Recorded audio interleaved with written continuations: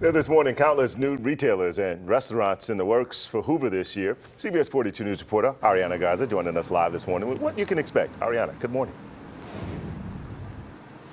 Good morning, Art. Two major shopping centers are being built right now near the Hoover Met. You can see behind me Aldi already up and running over here. Now, I'm talking about the Stadium Trace Village Shopping Center as well as the Village at Brock's Gap. Now, they will include countless new restaurants, retailers, including Duluth Trading Company and Melt Sandwiches, as well as 39,000 square foot UAB medical office building.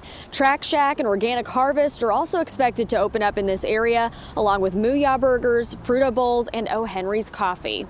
That's a testament to the work and the growth that Hoover's experienced. Um, they're 51, 52 years old, and that's a tremendous amount of growth that's happened in a relatively short period of time.